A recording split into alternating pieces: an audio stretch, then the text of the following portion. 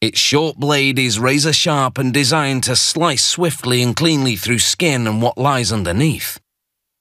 This surgical knife may be a simple instrument, but using it requires years of intensive training and steady hands capable of great precision.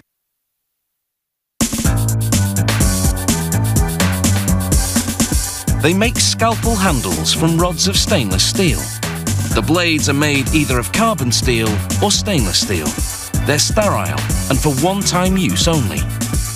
The blade steel is extremely thin, less than 0.4 millimeters. It arrives at the scalpel factory in coiled strips. The first machine feeds the strips into a press. A die inside punches out unfinished blades, called blanks.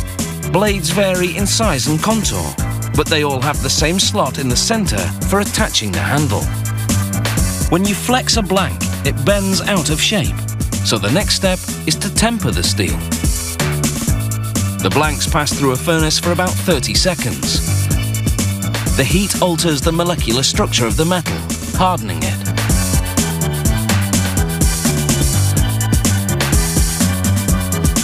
From the furnace, they move through a punching tool that pops them from the strip. The separated blanks stack on a peg.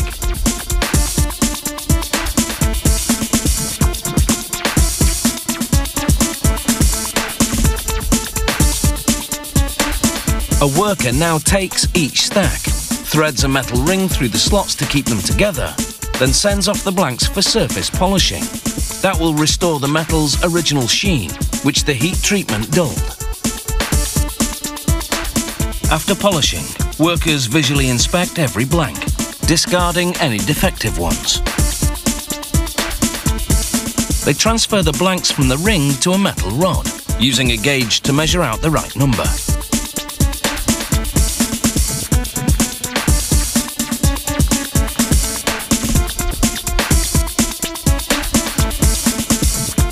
From here, they mount the rods onto grinding machines.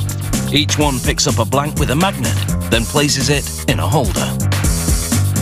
The holders run the blanks against a wheel coated in diamond particles, a powerful abrasive that smoothly wears down the steel.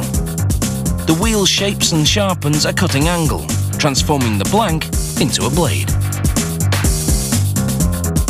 As the blades come off the grinder, they cling together because the magnet that fed them into the machine magnetized them. To cancel this effect, a demagnetizing machine passes an electromagnet behind the stacks of blades. After a thorough cleaning in ultrasonic cleaning tanks, the blades move on to final inspection. Workers wear rubber gloves to protect their fingers and keep the blades clean they carefully scrutinise the cutting edges, discarding any blade that's less than perfect. Each and every blade passes through two different inspectors.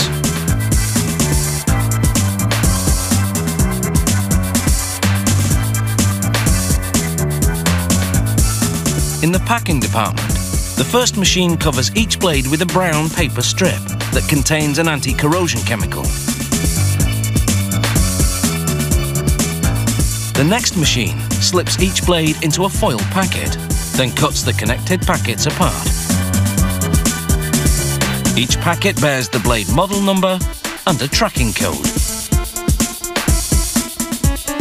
As the blades come off the packaging machine, an inspector does one last quality check. Then he counts the blades and boxes them. Of course, it's critical that surgical blades be sterile. So the boxes go into a cobalt radiation chamber for about six hours, obliterating any contaminants on the blades inside.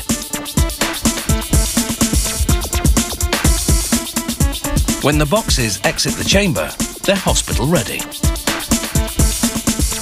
In the operating room, it's simply a matter of sliding the blade onto the protruding part of the handle, called the bayonet.